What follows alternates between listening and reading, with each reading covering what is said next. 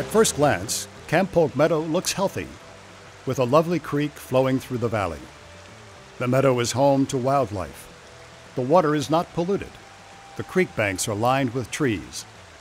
It is, to our eyes, a typical northwestern landscape. Today we've become accustomed to seeing Whychus Creek flow in an unnaturally straightened channel along the edge of the meadow. But historically, Whychus Creek used to flow as a meandering path through the meadow, providing really high quality fish and wildlife habitat. At the turn of the century, homesteaders arrived in Sisters, Oregon, and Camp Polk Meadow was the first recorded settlement.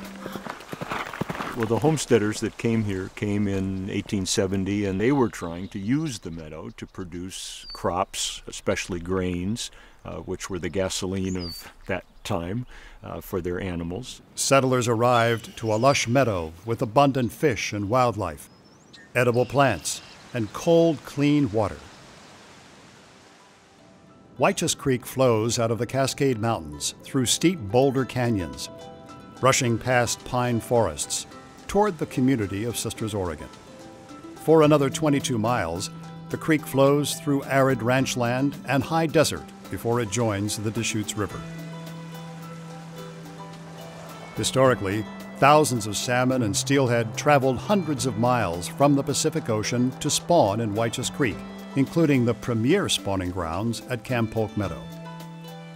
Over the last 100 years, the creek was increasingly tapped for irrigation, in time, it began running dry during the hot summer months. I cannot find fault with those folks who took all the water. They needed it to make a living, to uh, grow their crops, and for domestic use. They didn't have to take it all, but in those days, everyone's mindset was it'll last forever. In the 1960s, Whychus Creek was fundamentally changed and much of the outstanding habitat was lost. The creek that once meandered through the meadow was pushed to the side of the valley, turned into a straight, deep, eroding channel. At the same time, hydroelectric dams were being built on the Deschutes River, blocking the path for migrating fish. Eventually, salmon and steelhead no longer reached Whychus Creek.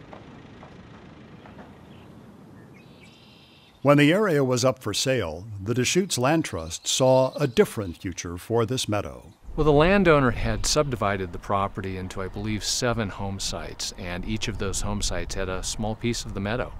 And it looked like at, at that time that the meadow was going to be forever broken into pieces.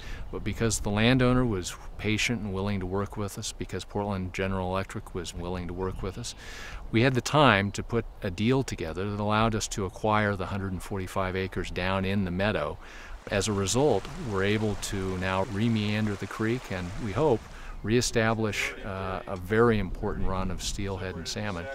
Oh, okay. 4,000. Oh, okay. I didn't know. I didn't you, you count out one pound of fish? Yeah. Deschutes Land Trust sought the expertise of the Upper Deschutes Watershed Council and Deschutes National Forest to manage, design, and implement the restoration project. By restoring this area, we have the opportunity to restore high quality habitat, provide cold clean water, and help support the return of steelhead for the first time since the 1960s. When complete, the project will return nearly two miles of Whychus Creek to its historic location meandering through Camp Polk Meadow, restoring 35 acres of wetlands and more than 100,000 native plants. The reintroduction of salmon and steelhead is very much focused in the Whychus Creek watershed, and the Camp Polk area was historically very important for steelhead in the Whychus Creek area. So restoring habitat here at Camp Polk actually helps support that larger reintroduction effort. It is going to take 10 years numerous volunteers, and almost $2 million to complete this project. The effort won't be easy or neat or quick. There will be noise and dust and temporary disruptions to wildlife, and it will be a few years before the native habitat is fully restored. But for many, it is worth it. It represents an opportunity to see the meadow and creek through a new lens as a home for wildlife where nature can run its course, a place where Whychus Creek can flow freely.